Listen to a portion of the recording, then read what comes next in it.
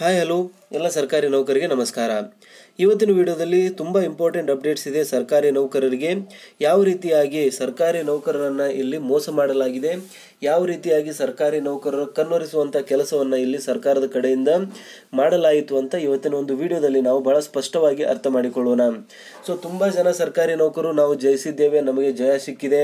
So ಸರ್ಕಾರ ನಮ್ಮ ಮುಂದೆ ಮನದಿದೆ ಅನ್ನೋ ಒಂದು ಮಾತನ್ನು ಹೇಳ್ತಾ ಇದ್ರು ಸೋಷಿಯಲ್ ಮೀಡಿಯಾದಲ್ಲಿ ಮತ್ತು ಟೆಲಿಗ್ರಾಮ್ ಮತ್ತಿತರ ಒಂದು ಮಾಧ್ಯಮಗಳಲ್ಲಿ. ಬಟ್ ರಿಯಲ್ ಆಗಿ ವಾಸ್ತವವಾಗಿರುವಂಥ ಸಂಗತಿ ಏನಿದೆ ಸರ್ಕಾರ ನಿಜವಾಗ್ಲೂ ನಮ್ಮ ಒಂದು ಬೇಡಿಕೆಗಳನ್ನು ಈಡೇರಿಸುತ್ತಾ ಅಥವಾ ನಮಗೆ ಜಸ್ಟ್ ಮೂಗಿಗೆ ತುಪ್ಪ ಸವರುವಂಥ ಕೆಲಸ ಮಾಡಿ ಸರ್ಕಾರಿ ನೌಕರಿಗೆ ಇಲ್ಲಿ ಅನ್ಯಾಯ ಆಗಿದೆ ಅಂತ ಇವತ್ತಿನ ಒಂದು ಅಫಿಷಿಯಲ್ ಆಗಿರುವಂಥ ಡಾಕ್ಯುಮೆಂಟ್ ಅಲ್ಲಿ ಈ ಒಂದು ಪೇಪರ್ ಅಲ್ಲಿ ಬಹಳ ಸ್ಪಷ್ಟವಾಗಿ ನೀಡಲಾಗಿದೆ.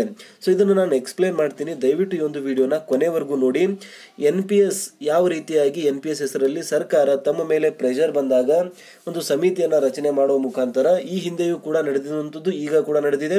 ಇನ್ನು ಮುಂದೂ ಕೂಡ ಇದೇ ನಡೆಯುವಂಥದ್ದು ಸರ್ಕಾರ ಜಸ್ಟ್ ಒಂದು ಸಮಿತಿಯನ್ನ ರಚನೆ ಮಾಡುವ ಮುಖಾಂತರ ಸರ್ಕಾರಿ ನೌಕರರ ಕಣ್ಣೊರಿಸುವಂಥ ಕೆಲಸವನ್ನ ಇಲ್ಲಿ ಯಾವ ರೀತಿ ಹಿಂದಿನಿಂದ ಮಾಡ್ತಾ ಬಂದಿದೆ ಇವಾಗ ಕೂಡ ಸಿ ಎಂ ಬೊಮ್ಮಾಯಿ ಅವರ ಸರ್ಕಾರ ಮಾಡಿರುವಂಥದ್ದನ್ನು ನಾವು ನೋಡಿದ್ದೀವಿ. ಸೊ ಹಾಗಾಗಿ ಏನಿದೆ ಕಂಪ್ಲೀಟ್ ನ್ಯೂಸು ಯಾವ ರೀತಿಯಾಗಿ ಸರ್ಕಾರಿ ನೌಕರಿಗೆ ಎನ್ ಪಿ ಎಸ್ ವಿಚಾರದಲ್ಲಿ ತುಂಬಾನೇ ಅನ್ಯಾಯವಾಗಿದೆ?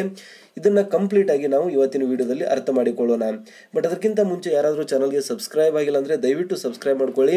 ಈ ತರಹದಂಥ ಸರ್ಕಾರಿ ನೌಕರಿಗೆ ಉಪಯುಕ್ತವಾಗಿರುವಂಥ ಮಾಹಿತಿಯನ್ನು ನಾವು ಡೇ ಟು ಡೇ ಕೊಡ್ತಾ ಇರ್ತೀವಿ.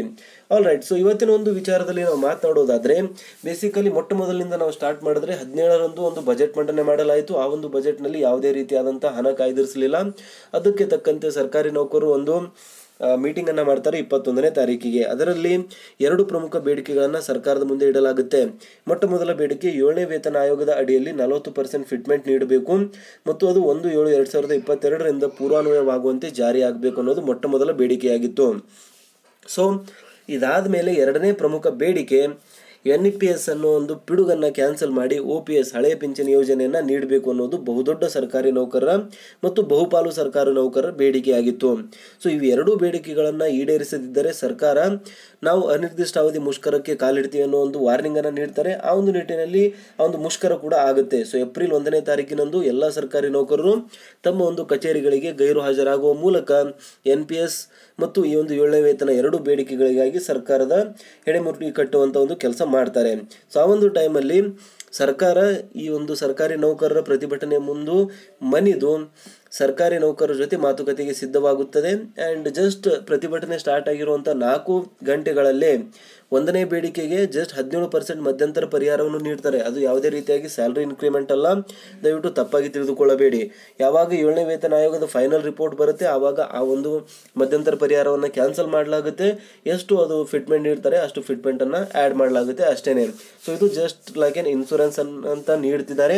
ಜಸ್ಟ್ ಇದು ಒಂಥರ ಇನ್ಶೂರೆನ್ಸ್ ಇದ್ದ ಹಾಗೆ ಬೆಳೆ ಹಾನಿ ಆದಮೇಲೆ, ಬೆಳೆ ಇನ್ಶೂರೆನ್ಸ್ ಕೊಡ್ತಾರೆ. ಸರ್ಕಾರಿ ನೌಕರಿಗೆ ಹಾನಿ ಆದಮೇಲೆ ಅವರಿಗೆ ಇನ್ಶೂರೆನ್ಸ್ ಕೊಡುವಂಥದ್ದು ಅದನ್ನೇ ಮಧ್ಯಂತರ ಪರಿಹಾರ ಅಂತ ನಾವು ಕರಿತೀವಿ. ಸೊ ಈ ಒಂದು ಪ್ರಮುಖ ಬೇಡಿಕೆ ಏನೋ ಆಯಿತು. ಇದಾದ್ಮೇಲೆ ನೆಕ್ಸ್ಟ್ ಎನ್ ಪಿ ಎಸ್ ಅನ್ನು ಕ್ಯಾನ್ಸಲ್ ಮಾಡಿ ಒ ಪಿ ಎಸ್ ಮಾಡುವಂತ ಬೇಡಿಕೆ ಇತ್ತು.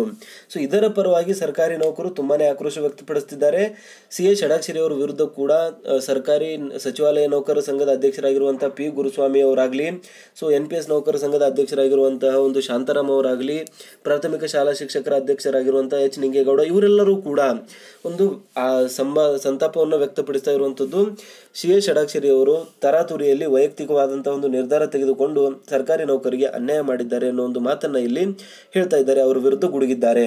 ಸೊ ಅದು ಕಂಪ್ಲೀಟ್ ನ್ಯೂಸ್ ನಾವು ಆಲ್ರೆಡಿ ಹೇಳಿದ್ದೀವಿ. ಸೊ ಇವತ್ತಿನ ಒಂದು ವಿಚಾರದಲ್ಲಿ ನಾವು ನೋಡೋದಾದ್ರೆ ಎನ್ ಪಿ ಅನ್ನ ಜಸ್ಟ್ ಸಮಿತಿ ಮಾಡೋ ಮುಖಾಂತರ ಸಾಲ್ವ್ ಮಾಡೋಕ್ಕಾಗಲ್ಲ ಆಲ್ರೆಡಿ ಏನಾಗಿದೆ, ಯಾವ ರೀತಿಯಾದಂಥ ಸಮಿತಿಗಳು ಆಗಿದೆ ಅಂತ ನೋಡಿ.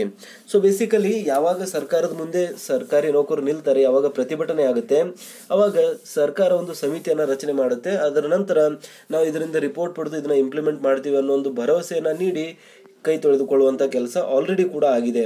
ಸೊ ಇಲ್ಲಿ ಪೇಪರಲ್ಲಿ ನೀವು ನೋಡ್ಬೋದು, ತುಂಬ ಕ್ಲಿಯರ್ ಆಗಿ ಮೆನ್ಷನ್ ಮಾಡಿರುವಂಥದ್ದು ಇಲ್ಲಿ ಎನ್ ಪಿ ಎಸ್ ಸಮಿತಿ ಏನು ಮಾಡಿತ್ತು ಅಂತ. ಸೊ ಏನು ಮಾಡಿದೆ ಎನ್ ಪಿ ಎಸ್ ಸಮಿತಿ ಪ್ರೀವಿಯಸ್ ಆಗಿ ಅಂತ ಕೇಳ್ತಿದ್ದಾರೆ. ಸೊ ಎನ್ ಪಿ ಎಸ್ ರದ್ದು ಮಾಡುವುದಕ್ಕೆ ಸಂಬಂಧಿಸಿದಂತೆ ಹಿಂದೆಯ ಹಣಕಾಸು ಇಲಾಖೆ ಅಪರ ಮುಖ್ಯ ಕಾರ್ಯದರ್ಶಿ ನೇತೃತ್ವದಲ್ಲಿ ಅಧಿಕಾರಿಗಳ ಸಮಿತಿಯನ್ನು ರಚನೆ ಮಾಡಲಾಗಿತ್ತು. ಆದರೆ ಆ ಸಮಿತಿ ಯಾವುದೇ ಸಭೆ ನಡೆಸದೆ ರಾಜ್ಯದಿಂದ ಮಾಹಿತಿಯನ್ನು ಪಡೆಯಲಿಲ್ಲ. ಯಾವುದೇ ರಾಜ್ಯಕ್ಕೂ ಭೇಟಿ ನೀಡಲಿಲ್ಲ, ಸರ್ಕಾರದ ವರ, ಸರ್ಕಾರಕ್ಕೆ ವರದಿ ನೀಡಲಿಲ್ಲ.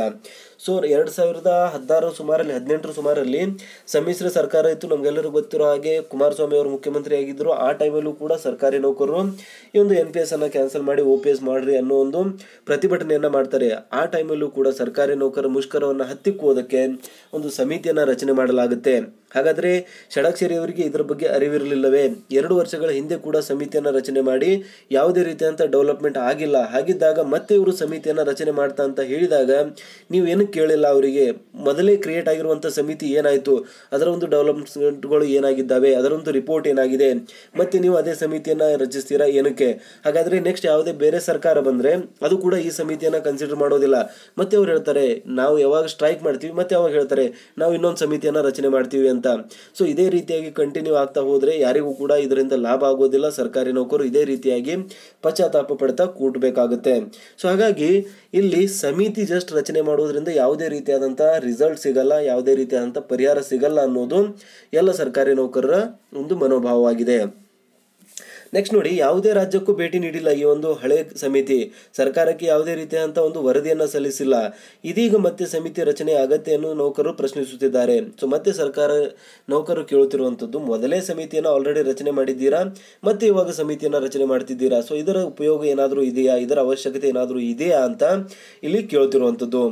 ಸೊ ಇದಾದ್ಮೇಲೆ ನೆಕ್ಸ್ಟ್ ನೋಡುವಂಥದ್ದು ಈ ಸಮಿತಿ ವರದಿ ನೀಡುವುದು ಸಹ ಹೊಸ ಸರ್ಕಾರ ಬಂದ ನಂತರ ಎಂಬ ಅಸಮಾಧಾನ ಇಲ್ಲಿ ನೌಕರರಲ್ಲಿ ಮುಟ್ಟಗೂಡಿದೆ ಸೊ ಬೇಸಿಕಲಿ ಅಪ್ಕಮಿಂಗ್ ಎಲೆಕ್ಷನ್ಸ್ ಬರುತ್ತೆ, ಅದರಲ್ಲಿ ಸರ್ಕಾರ ಚೇಂಜ್ ಆಗ್ಬೋದು ಚೇಂಜ್ ಆಗದೆ ಇರಬಹುದು ಸೊ ಆ ಒಂದು ಟೈಮಲ್ಲೇ ಇದು ಚುನಾವಣಾ ನೀತಿ ಸಂಹಿತೆ ಎಲ್ಲ ಜಾರಿ ಆದಮೇಲೆ ಚುನಾವಣೆ ಮುಗಿದ ಮೇಲೇ ಈ ಒಂದು ಸಮಿತಿ ಒಂದು ರಿಪೋರ್ಟ್ ನೀಡುತ್ತೆ. ಸೊ ಹಾಗಾಗಿ ಮುಂದೆ ಬರುವಂಥ ಸರ್ಕಾರ ಈ ಒಂದು ಸಮಿತಿಯನ್ನು ಕನ್ಸಿಡರ್ ಮಾಡುತ್ತೆ. ಅದ್ರ ಮೇಲೆ ಏನಾದರೂ ಆಕ್ಷನ್ಸ್ ತೆಗೆದುಕೊಳ್ಳುತ್ತೆ ಅನ್ನೋದೇ ದೊಡ್ಡ ಒಂದು ಯಕ್ಷ ಪ್ರಶ್ನೆಯಾಗಿದೆ. ಮತ್ತು ಇದು ಅಸಮಾಧಾನಕ್ಕೆ ಕಾರಣವಾಗಿರುವಂಥ ಒಂದು ಪ್ರಮುಖ ವಿಷಯ. ಸೊ ಇವತ್ತಿನ ಒಂದು ವಿಡಿಯೋದ ಮುಖಾಂತರ ನಾವು ಅರ್ಥ ಮಾಡಿಕೊಂಡಿರುವಂಥದ್ದು ಎನ್ ಪಿ ಎಸ್ ವಿಚಾರದಲ್ಲಿ ಸರ್ಕಾರಿ ನೌಕರಿಗೆ ಯಾವ ರೀತಿ ಮೋಸ ಆಗಿದೆ. ಜಸ್ಟ್ ಒಂದು ಸಮಿತಿ ರಚಿಸುವ ಮುಖಾಂತರ ಶ್ರೇಯ ಷಡಾಕ್ಷರಿ ಅವರು ಒಂದು ವೈಯಕ್ತಿಕ ನಿರ್ಧಾರವನ್ನು ತೆಗೆದುಕೊಂಡು ಸರ್ಕಾರಿ ನೌಕರಿಗೆ ಇಲ್ಲಿ ದ್ರೋಹ ಬಗೆದಿರುವಂಥದ್ದು ನಮಗೆ ಕಾಣಿಸ್ತಾ ಇದೆ. ಸೊ ನಿಮ್ಗೆ ಏನು ಅನ್ಸುತ್ತೆ ಈ ಒಂದು ವಿಚಾರದ ಬಗ್ಗೆ ಖಂಡಿತವಾಗೂ ಕಮೆಂಟಲ್ಲಿ ತಿಳಿಸಿ. ಸಿಗೋಣ ನೆಕ್ಸ್ಟ್ ವಿಡಿಯೋದಲ್ಲಿ. ಜೈ ಹಿಂದ್, ಜೈ ಕರ್ನಾಟಕ.